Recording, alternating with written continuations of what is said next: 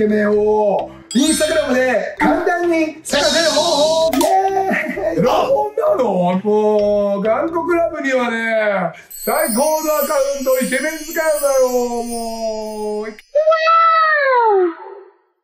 宣伝があるんですけど、すいません。実は僕、先日、ザ・ワールド・オブ・エリナっていう、韓国の YouTuber、43万人 YouTuber のエリナちゃんの YouTube に出てきました。見てください、みんな。エリナちゃんのインスタグラムもすごいです。そう、出てきたんですよ。2月上旬 ?1 月下旬かな。そのぐらいに撮影したんで、そう、いろいろあって動画アップできなかったんですけど、ちょっと宣伝になっちゃってたんですけど、見てください。見てくれてるイェーイ。イェーイ。イェーイ。イェーイ。タカですこんにちはなんですけど、アジアのイケメンをインスタグラムで簡単に探せる方法をご紹介しますっていうか、インスタグラムのアジア中のイケメンはもうすぐに見つかるっていうか、めちゃくちゃいっぱいいるから本当に探してほしい。これからアジアのイケメンを探す方法をご紹介したいと思います。タグラムの中にはアジア中のイケメンを集めてるアカウントがたくさんあって、そう、まあ個人でやってると思うんですけど、アカウントにイケメンが何千人って何万人って載ってるアカウントがたくさんあるわけですよ。まあ世界中にあると思うんですけど、ちょっと僕はアジア人好きなので、アジア人のイケメン、イケメンのもう溜まってる、もうイケメンばっかりが載ってる、あの、アカウントをちょっと何個か紹介していきたいと思いまーす。本当にイケメンばっかりなの。もう、やだやだやだやだやだやだ。もう、ちょっと紹介していきたいと思います。まずは、ちょっと女の子も見ても楽しいイケメンアカウント、ジャパンオフィシャルボーイズヘブンっていうのがあるんですけど、ガーンこれですちょっと、あの、動画でスクロールして、ここに貼っておきます。そう、見て見て見てそう日本のイケメンとかを中心に載せてるんですけど、アジア人もちょっといる。まあ日本もアジア人か。そう。日本人を中心としたイケメン図鑑。もうイケメン図鑑だよね。でほら見て、ほら、これすごくない？そう、ここはね、女性が見ても楽しいと思う。ああんまりマッチョっていう人もいないし、なんかモデル体型もいれば、ちょっと綺麗な可愛い系の子も乗ってるんで、これ女性も見たら楽しいよ、ほんと。ジャパンオフィシャルボーイズヘブン。ちょっとご覧になってみてください。これはね、本当に面白い。もう見てるだけで、フォローとかしちゃうもんだって。そう、可愛いいのみんな。もうこんな風に生まれたかった。次は、日本のカメラマンさんが作ってるアカウントなんですけど、めちゃくちゃかっこいい子ばっかりで、ここは多分ちょっとゲイ寄りのイケメンがたくさん載ってて、写真の撮り方がめちゃくちゃ上手くて、もうここもね、ほんとイケメンばっかりなの。これちょっと今、ドーン !A フォト東京っていうアカウントなんですけど、もうほんとね、ここのね、アカウント見て、ほら。すごくない？なんか、ここはゲイのモデルさんとか、ノンケのモデルさんとか、写真家さんが作ってるアカウントなんですけど、もうイケメン図鑑だよ、イケメン図鑑。もうイケメン図鑑。もう見てほら。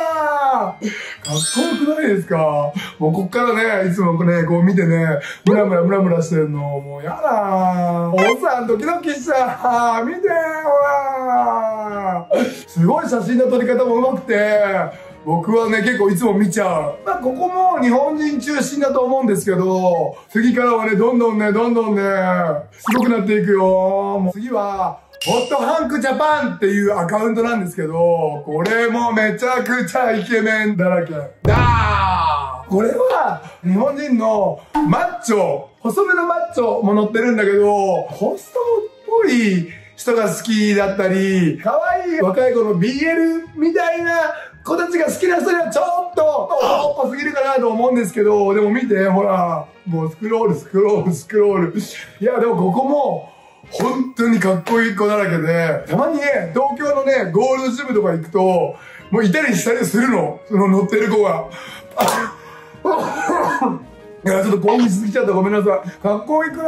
見て、ほら。結構ね、街中でね、会えたりする、見たりする人も乗ってるイケメンがそう、ここもね、本当にいつも見ちゃう。もう、スクロールしちゃうし、ずっと見てる、なんか夜、ムラムラしながら、いやー、ムラムラ、ムラムラ、いやー次は、ホットハンクコーリア。ホットハンクコーリア。もう僕の一番大好物なアカウント、イケメン図鑑、ガーこれはね、ほぼ全員いける。韓国好きにはたまらない。ここもやっぱりちょっとね、マッチョが多いから、マッチョ好きにはたまんないページ。見てこうゆっくり慣れるとスクロールしてるから。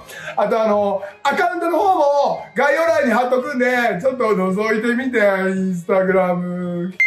てか、女の子も絶対楽しめるよ、これ。